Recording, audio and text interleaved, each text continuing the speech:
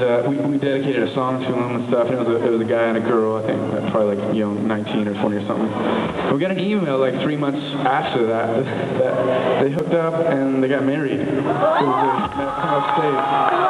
So I don't know if you guys are here, but uh, uh, congratulations. And uh, maybe we'll invite a few more people up on stage to see what happens. I don't know if you want to clap because that's kind of a curse. I mean, not a curse, but getting married is kind of a big deal. Uh, this next song is called Dixie. It's the